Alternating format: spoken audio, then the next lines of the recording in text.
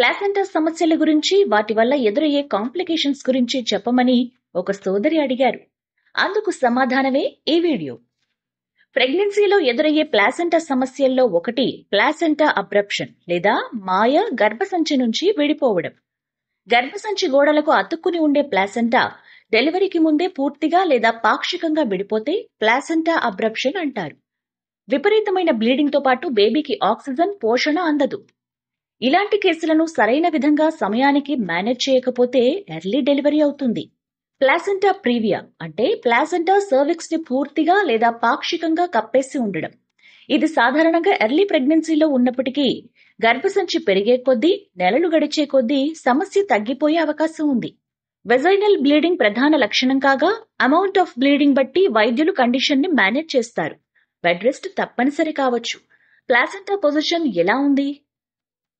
అలాగే గర్భంలో ఉన్న మీ బేబీ హెల్త్ని దృష్టిలో ఉంచుకొని మూడవ ట్రైమిస్టర్లో కూడా కండిషన్ అలానే ఉంటే సి సెక్షన్ సూచిస్తారు.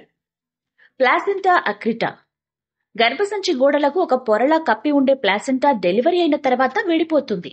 కానీ అక్రిటా కేసుల్లో మాయ గర్భసంచి పొరల్లోకి పెరిగిపోతుంది. ఇలాంటప్పుడు డెలివరీ తర్వాత ప్లాసెంటా పూర్తిగా విడిపడదు. మిగులు ఉండిపోతుంది. దీనివల్ల డెలివరీ టైంలో విపరీతమైన బ్లీడింగ్ అవుతుంది. ఒక్కోసారి ప్లాసెంటా గర్భసంచి కండర గోడల్లోకి చొచ్చుకుని పోతుంది. ఇలాంటి కేసుల్లో సి సెక్షన్ దానితో పాటు గర్భసంచి తొలగించే అవకాశం ఉంది. రిటైన్ ప్లాసెంటా డెలివరీ అయ్యి బేబీ పుట్టిన ముప్పై నిమిషాల్లోపు ప్లాసెంటాని కూడా డెలివరీ చేయాలి. అలా చేయకపోతే దానిని రిటైన్డ్ ప్లాసెంటా అంటారు. ఇలా ఎందువల్ల జరుగుతుంది అని చూస్తే డెలివరీ అయిన తర్వాత సర్విక్స్ కొంత మూసుకుని పోయి మాయని దాచేయవచ్చు. అలాగే గర్భసంచిలోనికి ప్లాసెంటా పెరిగి ఉండవచ్చు. అందుకే మాయను తొలగించిన తర్వాత ప్రసూతి వైద్యులు ఒకటికి రెండు సార్లు చెక్ చేస్తారు.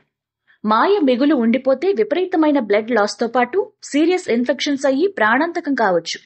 ప్లాసెంటా కండిషన్స్ వల్ల వెజైనల్ బ్లీడింగ్ కడుపు నొప్పి బ్యాక్ పెయిన్ కాంట్రాక్షన్స్ ఈ సమస్యలన్నీ రావచ్చు.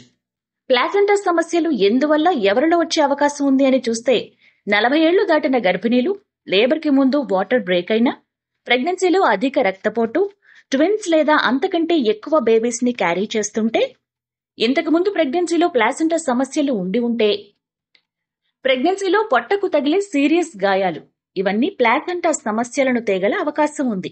ప్లాసెంటా సమస్యలు రాకుండా ఏవైనా ముందు జాగ్రత్తలు తీసుకోవచ్చా అంటే మన చేతిలో ఉన్నంత వరకు ప్రయత్నం చేయాలి. కొన్ని మన చేతిలో ఉండవు. రిస్క్ ఉన్న గర్భిణీలు తప్పనిసరిగా అదనపు శ్రద్ధ తీసుకోవాలి. హెచ్ఎంపీ లివ్ ఛానల్ని సబ్స్క్రైబ్ చేసి పక్కనే ఉన్న బెల్ ఐకాన్ని ప్రెస్ చేస్తే మా లేటెస్ట్ వీడియోస్ అన్ని చూసేయొచ్చు.